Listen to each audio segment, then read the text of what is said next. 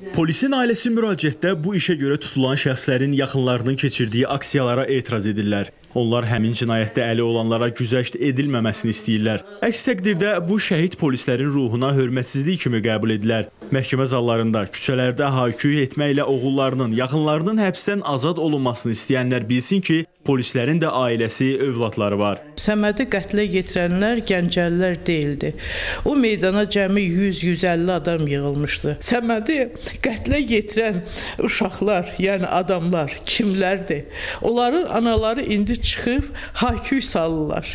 Lakin biz susuruq. Biz haqq ədaləti gözləyirik. Mənim prezidentdən xahişim budur ki, mənim yoldaşımı qətlə yetirənlərin cəzası verilsin. Haqq, ədalət yerinə yetirilsin. Biz hər bir ananın fəryadını anlayır, onların dərdini başa düşürük. Heç kimi də ittiham etmək istəmirik. Amma bu gün biz Gəncədə qanunları tapdalayan, ixtişaş törədən, qan tökülməsində təqsirli bilinərək həbs olunan şəxslərin analarının, bacılarının küçələrə çıxaraq onların həbsdən azad olunmasını tələb etdiklərini görürük. İndi biz sual edirik. Doğrudanmı bir insanı, bir ailə başçısını və ən nəhayət dövlətin keşiyində duran igidi amansızlıqla öldürmək bu qədər asandır və həqiqətənmi bu günah sayılmır? Gəncədə meydanda polislərə güzəşt edilmədi. Bu gün də bu cinayətdə əli olan heç bir kəsə güzəşt edilməməlidir deyə Səməd Abbasovun ailəsinin müraciətində bildirilir.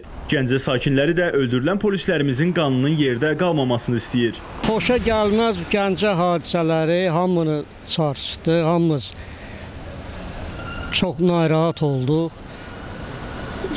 Abbasov Səməd haqqında ümumiyyətlə Gəncə şəhərində hamı çox müsbət fikirdədir. Şəxsən Səməd Abbasovun ölümü bütün Gəncəni sarsıtdı. Mən yəni tanıdığımı deyirəm. Dövlət var, dövlətin hüquq mühafizə orqanları var.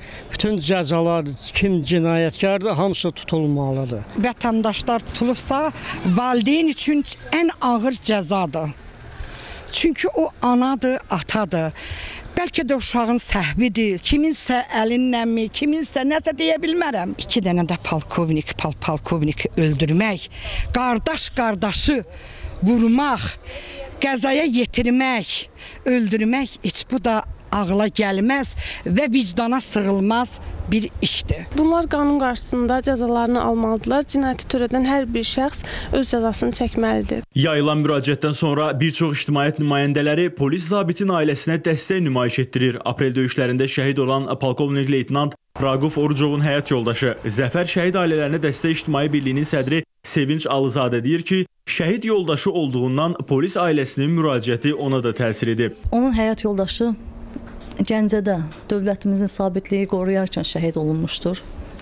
Öz xalqımızın içimizdə böyüyən, yetişən, öz elimizin çörəyini yeyən insanlar tərəfindən şəhid edilmiş və bu gün həmin insanların istintaqı yekunlaşıb məhkəmə instansiyasında yekun qərarın verilməsini gözləyirlər. Mən anlaya bilmirəm o qərarın verilməsinə təsir edəcək anaların çıxışlarını.